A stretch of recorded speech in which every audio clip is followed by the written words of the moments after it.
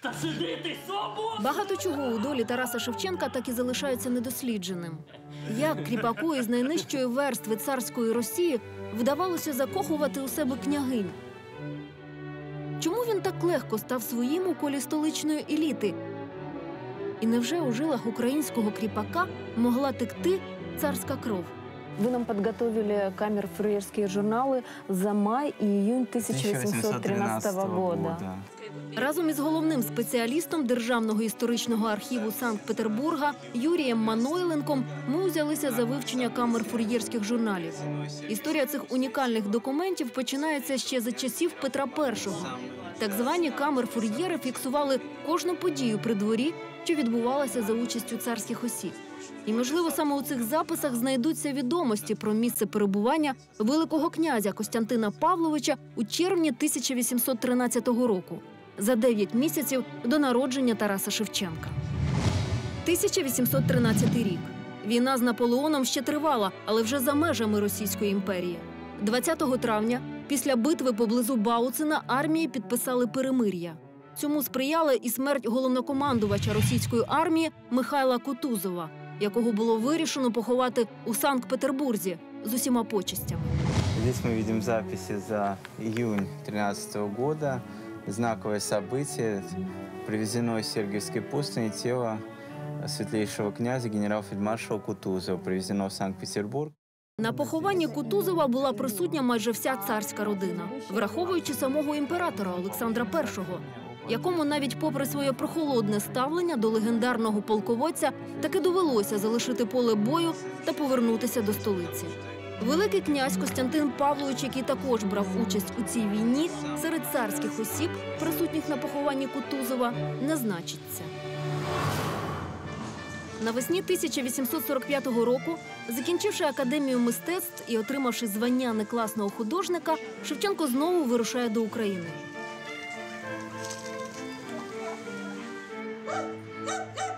І, схоже, має намір залишитися тут назавжди, бо офіційно влаштовується до складу Київської археографічної комісії. Подорожує Чернігівщиною, Черкащиною. Насправді про цей період життя Тараса Шевченка, а саме осінь, початок зими 1845 року, відомо небагато. Відвідуючи рідну Керелівку, він раптом вирішує засвататись до закоханої у нього ще з минулого літа доньки місцевого священика Григорія Кошиця Федосі. Але, отримавши відмову від батьків дівчини, Шевченко раптом впадає у глибоку депресію. Насправді, причиною глибокого душевного занепаду поета могло стати щось зовсім інше.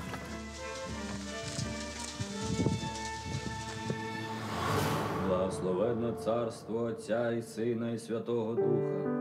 Радуйся, благодатна Богородиця Діво і Христос Бог наш. Амінь. У липні 1845 року Ганна Закревська народила дівчинку Софію. Новонароджену хрестили брат Платона Віктор Закревський та його сестра. Чи зрікаєтесь ви злого духа і всякого служіння йому? Зрікаємось. Чи поєднуєтесь ви з Христом? Платон відмовився йти на хрестини. Від моменту останньої зустрічі Ганни та Тараса у Петербурзі минуло рівно 9 місяців. І сьогодні вже ніхто напевно не може стверджувати, чиєю донькою була Софія. Охрещується раба Божа, Софія во ім'я Отця, і Сина, і Святого Духа. Амінь. Таємниця народження Софії оповита безлічу чуток та легенд. Одні стверджують, що Ганна взагалі її не народжувала. Інші переконують, дівчинка була, але невдовзі померла. Дивом нам вдалося розшукати документальні свідчення, які підтверджують появу Софії на світ. Метрична книга березової рудки, яка б мала зберігатися у Полтавському обласному архіві, несподівано знайшлася у Чернігові. Актовая запись номер 25 от 9 июля 1845 года о рождении Софии, родители которой являются села Березовые Рудки, помещик, полковник гвардии Платон Алексеевич Закревский и законная жена его Анна Ивановна. Існує запис і про смерть Софії. від 1852 року. На той час дівчинці було лише сім років. Утім, стверджувати однозначно, що ймовірна позашлюбна донька Тараса Шевченка померла, не можна, бо були в історії родини Закревських і інші подібні таємниці.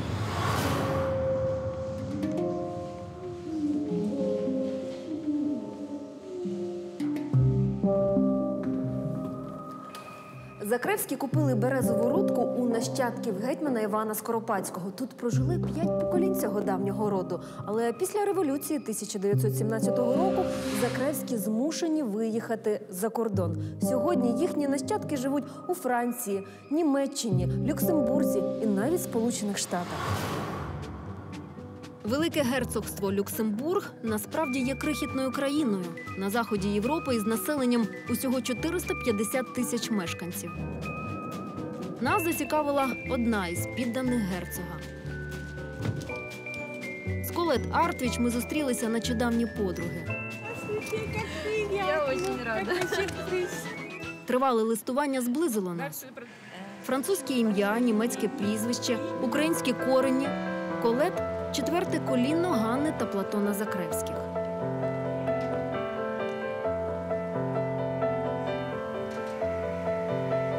І вона єдина з усіх нащадків, хто наважився говорити вголос про секрети та прокляття цього роду.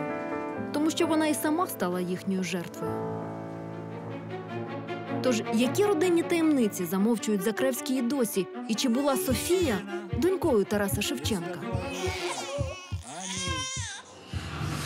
Депресія, яка почалася ще восени, взимку тільки загострилася. Наприкінці грудня 1845 року стан здоров'я Тараса Шевченка різко погіршився. Недуга прикувала його до ліжка у будинку лікаря Козачковського, який мешкав у Переяславі Хмельницькому. Тарасе, я Віктор! З кожною годиною ставало все гірше. Піднялася висока температура. Шевченко почав марити. Це був тиф. Не знаю, чи дотягне до ранку.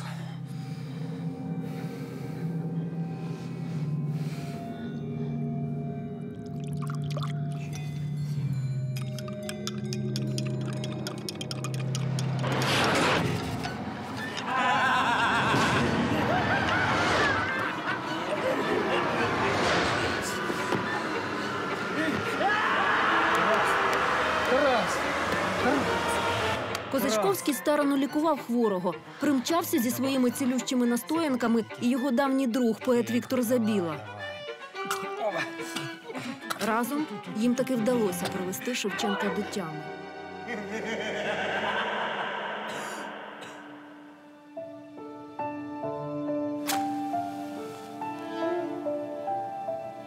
А в ніч з 24 на 25 грудня ще слабий, але вже при пам'яті Шевченко підвівся з ліжка і запалив свічку. Узяв папір, перо, і з-під нього з'явились перші слова. Як помру,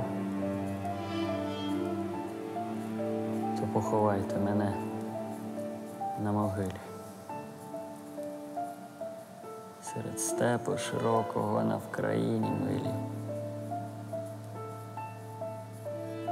Щоб лани широкополі, Щоб лани широкополі, і Дніпро, і кручі. брої, кручі, Було видно, було чути, як реве чути, ревуче, як реве ревучий, як понесе з України. З України, у синє море. море, кров ворожу. От тоді я, і лани, і кручі, все покину і полину до самого Бога молитись.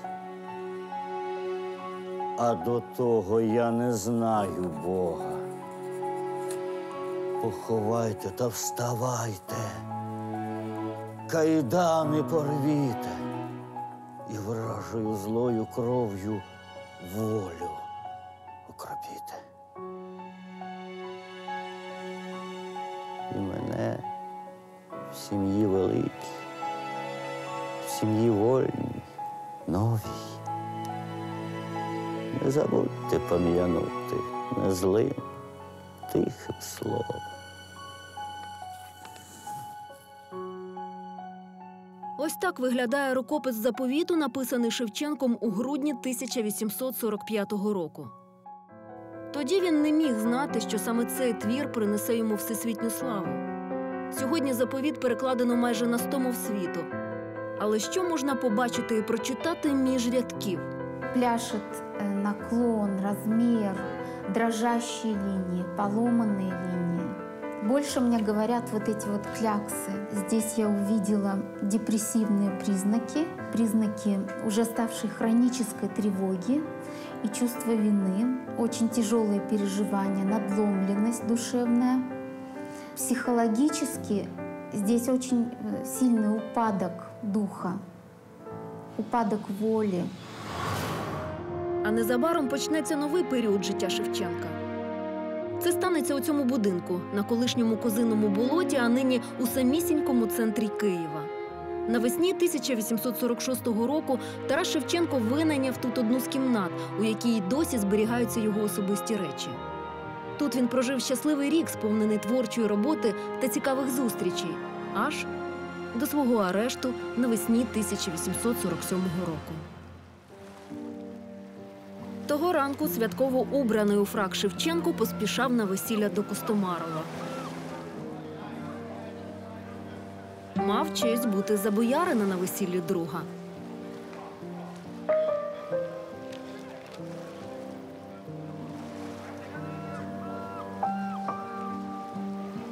Зайнятий думками про майбутнє гуляння, він навіть не помітив жандармів, що вже тупцювалися на березі. Тому як тільки пером приблизився до київського берегу, Шевченка заарештувала поліція.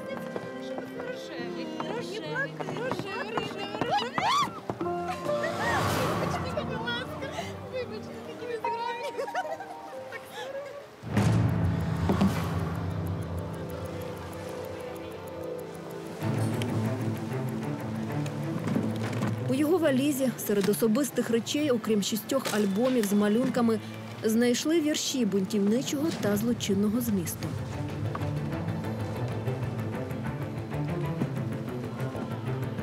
Усе це разом із заарештованим автором було вирішено відправити до Санкт-Петербурга.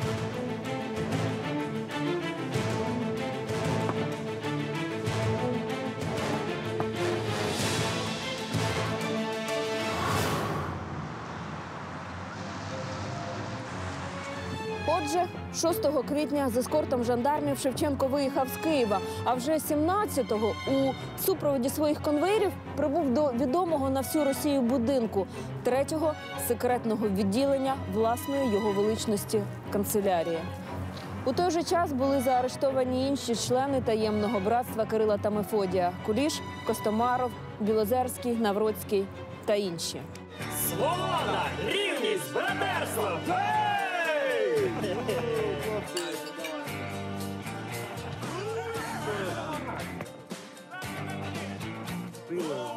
Думкою, словом, натхненням, серцем. Ми ж українці усі, а ми сидимо тут та п'ємо. Слов'янське товариство святих Кирила та Мефодія було створено наприкінці 1845 року. Його засновники Костомаров, Гулак та Білозерський. Члени братства виголошували антимонархічні та антикріпосницькі настрої молодої української інтелігенції. Відомо, що Шевченко не був членом зібрання, а тільки розділяв погляди своїх друзів. Давайте випустимо якусь газету. До того ж, його революційна поезія викликала шалений фурор на таємних зібраннях братства. Треба, треба.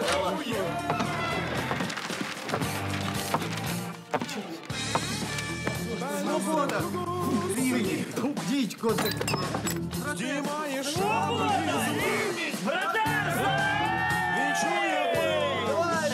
Нічим не примітний студент Олексій Петров був сусідом Миколи Гулака. Тому на зібраннях його приймали як свого. Згодом стане відомо, що саме донос Олексія Петрова і став приводом до арешту усіх братчиків. Аж ось і сам. Високий, сердитий виступає. Бок його цариця не бога, мов опеньок засушений, тонка, довгонога, та ще й на лихо сердешний і та головою. Це та богиня? Лишенько з тобою. А я, дурний, не бачивши тебе цяці разу, та й повірив тупорилим твоїм віршоватам.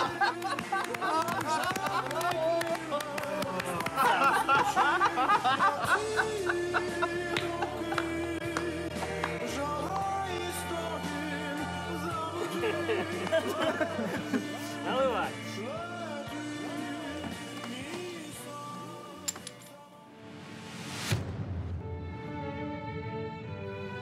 Колись Олександрівський палац у царському селі був найулюбленішою резиденцією Миколи І. І хоч не існує жодних свідчень про особисте знайомство Шевченка з монархами, чому тоді його поезія пронизана такою ненавистю до царів? І невже версія про позашлюбне народження поета може мати реальні підтвердження?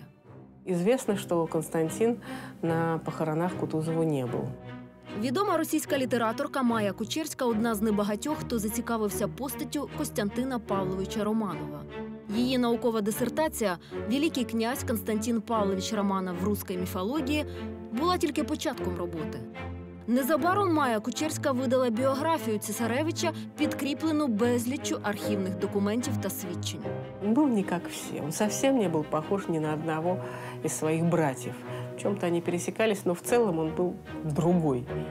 З Енгельгартами Костянтин Павлович, поза сумнівом, був знайомий. Більше того, з його сином Андрієм Костянтин мав тісніші стосунки. Вони обидва проявили себе на полях баталій проти Наполеона. Они были знакомы, да, безусловно. Да, Он, Константин мало с кем дружил. Его близкий круг – это были люди не из высшего эшелона власти. Нет. Он все время м, себя вел не так, как положено особе из царского дома. Константин славился своим веселым нравом. А, Он был вполне себе ценитель женской красоты. И у него были внебрачные дети.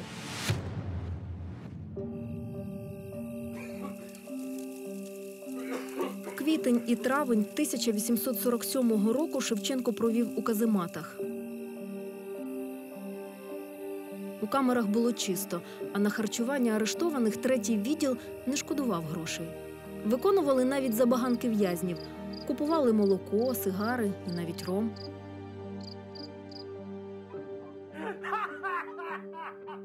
Шевченко спочатку нудився у кам'яному мішку, а згодом попросив книжки, папір і почав писати. Протягом менш як двох місяців на світ з'явилося 12 поезій. Сьогодні усі вони належать до перлин Шевченковської лірики. Як Україну зліє люди, приспляті лукавії.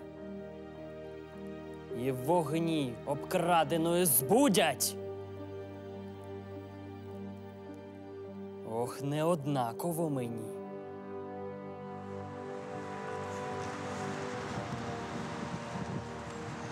У кінці травня жандармське слідство було закінчено, і на імператорський стіл Миколи І лягла доповідь про роль кожного з обвинувачених. Сьогодні справа Шевченка та Кирило Мефодіївського братства зберігається у Москві у стінах Державного архіву Російської Федерації. Після революції увесь паперовий фонд третього секретного відділу власної його величності канцелярії переїхав сюди. Шевченко вместо того, чтобы вечно питать благоговейные чувства к особам августейшей фамилии, удостоившим выкупить его из крепостного состояния, сочинял стихи на малороссийском языке самого возмутительного содержания.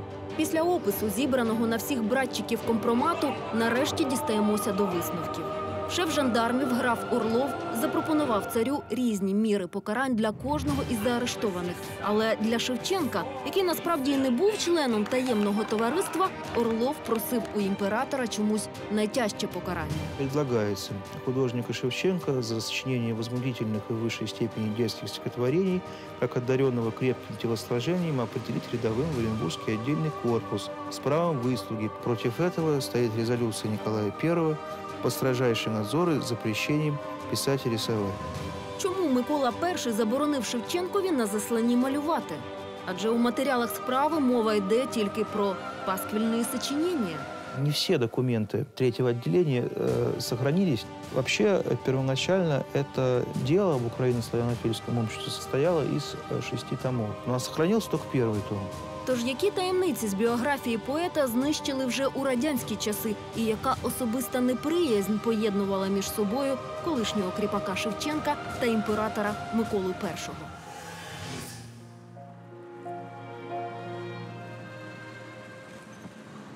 Сучасний Орськ містечко за 300 кілометрів від Оренбурга.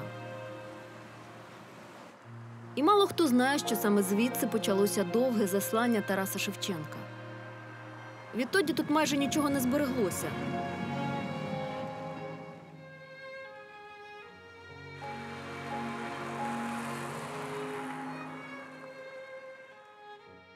На місці колишніх військових казарм парк.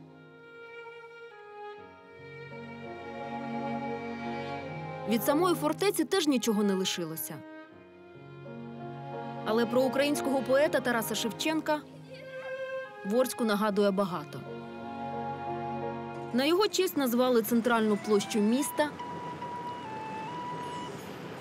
бібліотеку.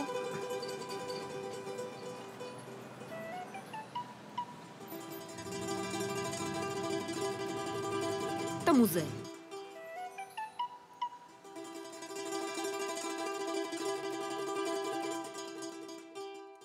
А пам'ятник поету-демократу поповнює лави багаточисельних монументів по всьому світу. Васнецов. Шевченко написано. Тарас Шевченко.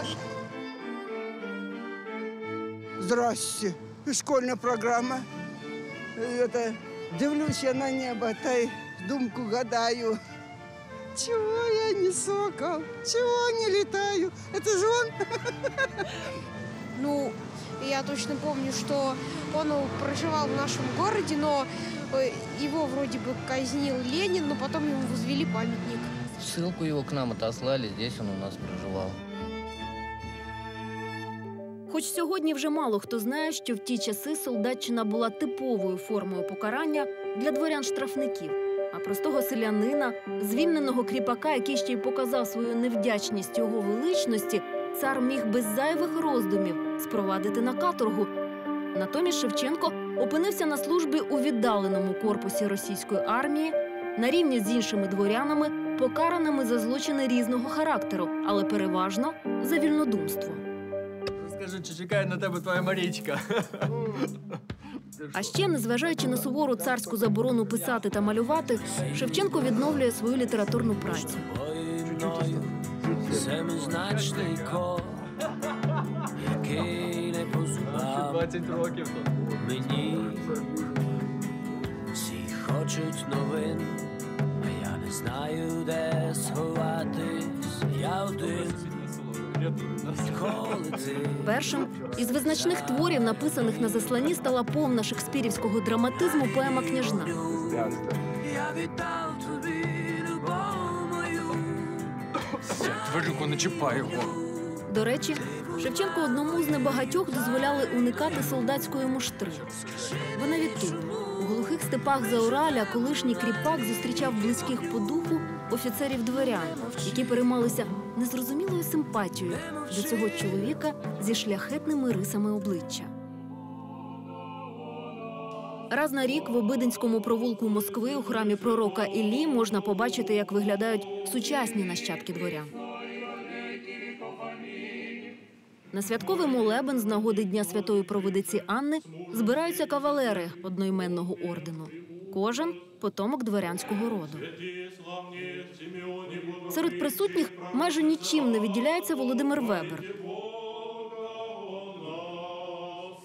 Членом російського дворянського зібрання він став завдяки своїй материнській лінії, і мало хто з присутніх знає, що по батьку він є нащадком самого Костянтина Павловича, щоправда, позашлюбним. Генетически ему везло только с француженкой. Потому что первая жена была немка, вторая жена полька.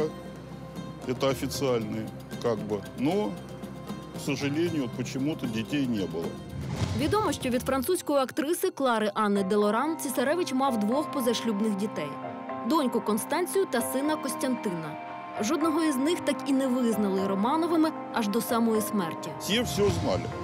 Просто лишний раз никто не говорил. За этим следило третье отделение. И, конечно, ну, я говорю, достаточно было того, что в определенных кругах аристократических к ним и относились аристократически. Говорити про своє рідство з Романовими Вебер також не любить. Доказів майже не лишилося. Главный, кажется, престиж – это спокойствие в стране и возвращение монархии. Вот это престиж. Потому что в России что-то утеряно. Действительно, они ищут идею. Какая идея? Идея – это вера в Бога, царя и Отечества. Больше нету идеи.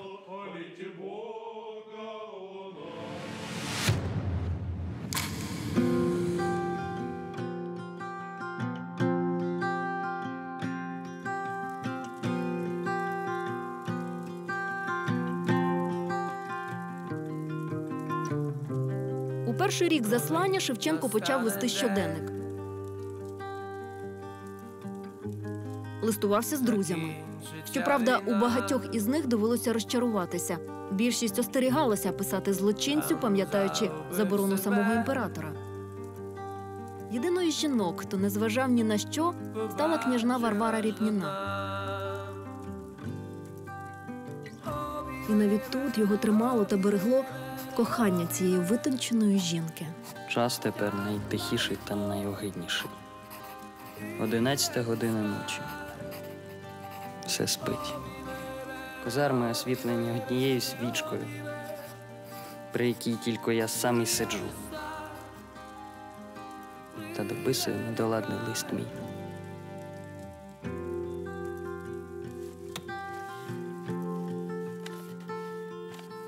Тринадцятий день вже читаю ваш лист. Він переніс мене з похмурих казарм на мою батьківщину у ваш прекрасний Яготин. Яготин. Складай зброю.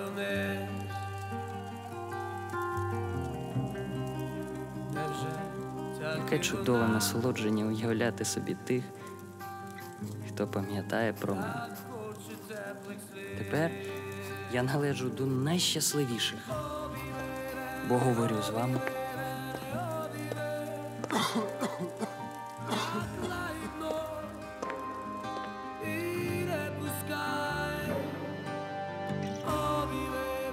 О, добрий ангел. Молюся, плачу перед вами, бо ви затвердили мою віру в існування святих на землі.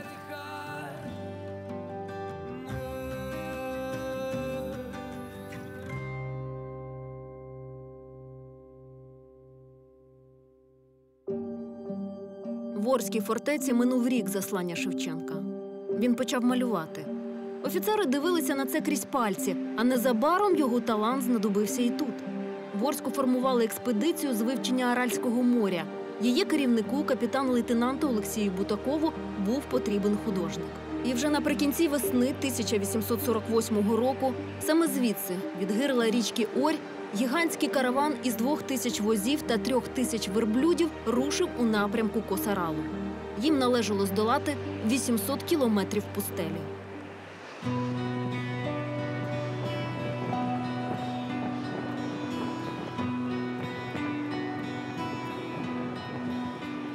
Сьогодні Аральське море виглядає зовсім не таким, яким його бачив Шевченко. В результаті масштабної екологічної катастрофи воно зменшилось на 80% і висохло у глиб на 170 кілометрів.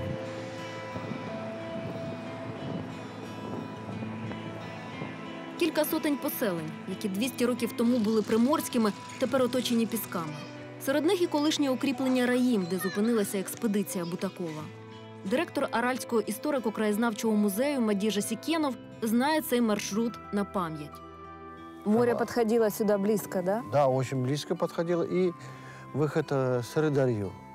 Очень рядом они расположены были. И здесь они собрали шхуну э, Николай и Константин. Да. Ну, естественно, они э, по Дарье плавали и по морю плавали. Сучасне селище Каратерен колись було тим самим косаралом, який оспівував Шевченко. Тоді море підходило до самого поселення. А тепер, щоб дістатися до великої води, місцеві рибалки долають десятки кілометрів. Про Шевченка тут пам'ятають всі. Школа носить ім'я Кобзаря ще з радянських часів, а на уроках позакласного читання і досі вивчають його поезію. қосарал қош бол жұпыным қалғымды сенің ұнаттым екі жыл бойы мұңымды ұмыт қып мені жұбаттың Каміла Шентимир уперше почула про Шевченка від свого діда. Колись він працював у цій школі вчителем, і багато хто вважав його схожим на українського поета. Для мене дідусь завжди був схожим на Шевченка. Він також пише вірші.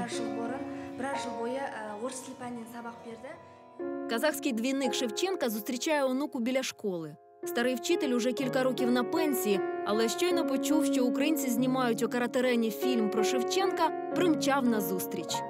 Я думаю, Шевченко очень любил эти берега, наше море. Я пишу стихи. Моя книга. Э, Здесь одно стихотворение есть, которое связано с именем Кобзаря. Аңыратып жоқтауын шашын жайды кобзар екен арсасы да жалаң бастал. Кобзар. М? Қолыс ғасырдың құрдасы жалаң бастал, қилы-қилы өткіздің заман бастан, айдаудағы ақынның мейіріндей, ақсамалын алабым саған тосқан, жанға жайлы жұпарын жағы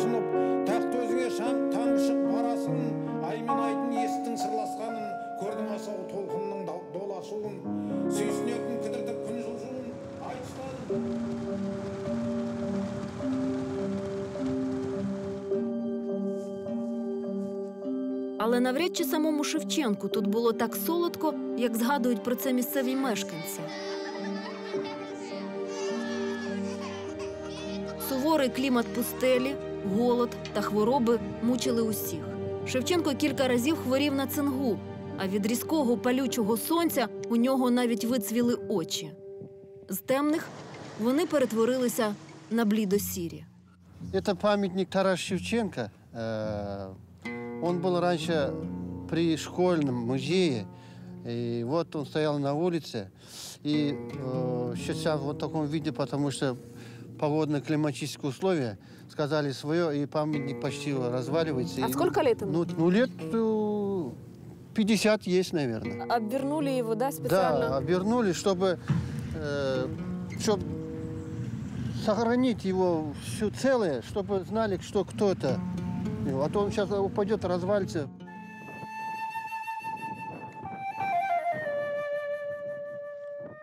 Сучасні казахи майже не пам'ятають, що внесок Шевченка у дослідження їхнього моря безцінний. Експедиція вивчила водний простір площею у 65 тисяч квадратних кілометрів. Тут, на узбережжі Аральського моря, Шевченко виконав понад 200 малюнків. І це були не тільки мистецькі твори, а й детальна ілюстрація праці науковців. Утім, до історії досліджень таємниць земної кулі ім'я Шевченка так і не ввійшло, бо в офіційних матеріалах експедиції його не можна було навіть згадувати. Голодний, виснажений хворобами, він виконував свої обов'язки нелегально.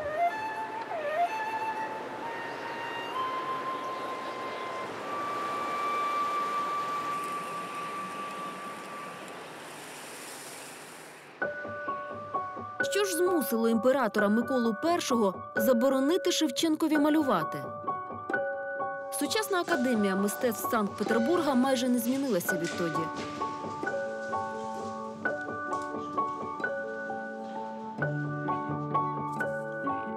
Колись вона була імператорською, тепер носить ім'я видатного російського художника Рєпіна.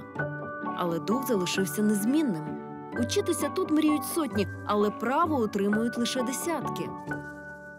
Вони, як і за часів Шевченка, вчаться малювати оголену натуру, опановують ази малярського мистецтва, а головне прагнуть знайти для себе вчителя. Такого, яким колись для Шевченка став великий Карл. Брюлова с Шевченко связывали отношения э, скорее не учителя ученика, покровителя и протеже. Может быть, и друга, потому что м, те подробности о семейной, домашней жизни Карла Павловича, они могли быть известны э, только человеку близко вхожему к Брюлову. Григорій Голдовський очолює відділ живопису Державного російського музею. У його фондах зберігається тільки одна картина Тараса Шевченка Натурник у позі фавна. Влияние Брюлова в этой работе абсолютно очевидно. А ще у запасниках музею можна відшукати маловідомі еротичні малюнки Брюлова. Перший невинність, що залишає землю. Його сюжет досить стриманий та навіть повчальний. Але другий малюнок без назви змушує на хвилину навіть відвести очі. В то время это могло расцениваться цензурой как порнография? Значит, это не просто могло, это расценивалось и не только цензурой, как порнография. Вот что касается Николаевского времени, то он вообще, э, Николая Павловича, почитают за э, пуриста, за человека, который был достаточно строг по отношению к живописи и с точки зрения нравственности. Общеизвестно, например, что когда появилась на выставке э, в Императорской академии художеств картина художника Лапченко Сусанны и старцы, Сусанна у фонтана, где изображена Да-да-да. сидящая обнаженная натурщица, посещая академическую выставку э, с императрицей Александрой Федоровной и детьми, Николай Павлович, заранее осмотрев экспозицию, сказал э, супруге, тебе вот в этот зал ходить не надо. По вашему мнению, Шевченко мог перенять у Брюлова манеру вот, э, рисовать подобные рисунки? Ну, собственно, а почему нет? Шевченко занимала проблема изображения обнаженного тела в том числе, э, и фрагментов и целиком. Отже, які малюнки Шевченка стали причиною заборони на його живопис, і яку інформацію зі справи про Кирило Мефодіївське братство вилучили вже у радянські часи?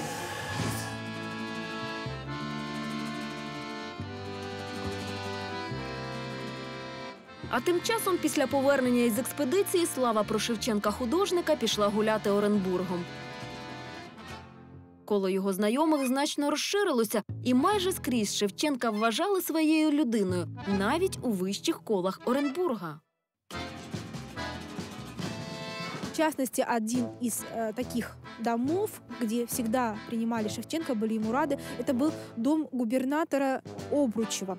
Он приглашал Шевченко, и э, приходила местная знать сюда, в этот дом, и Шевченко писал их портреты. Петра- Писал портреты известных людей, писал портреты своих друзей. Также здесь э, был написан портрет Матильды Обручевой, это супруга губернатора.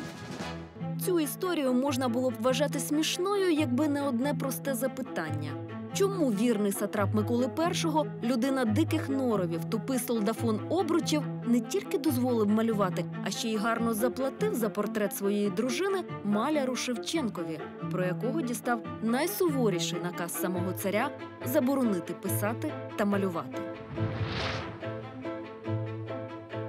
Можливо, знав про нього щось більше. Тому не дивно, що в Оренбурзі Шевченко почував себе вільною людиною. Жив не в казармі, а у приватному помешканні. По місту ходив у цивільному одязі. І взагалі нікого не боявся. Все було б так і до кінця заслання Шевченка, якби не черговий донос.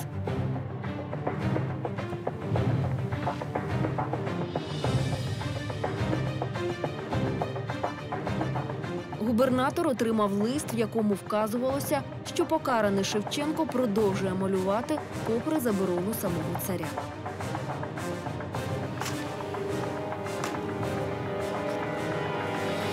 Обручев розумів, що копія цього доносу вже відіслана до Петербурга, тому був змушений вжити заходів.